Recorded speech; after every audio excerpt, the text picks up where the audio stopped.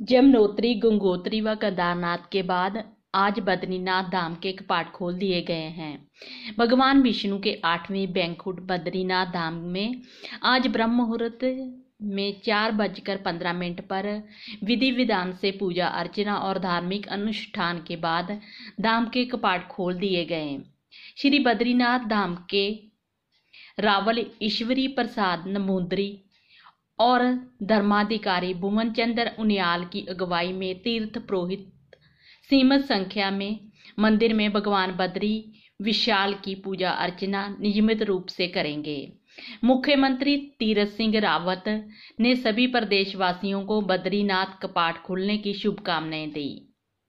उन्होंने सभी से अनुरोध किया कि भगवान के विजुअली दर्शन करें तथा अपने घर पर ही पूजा पाठ करें और धार्मिक परंपराओं का निर्वहन करें।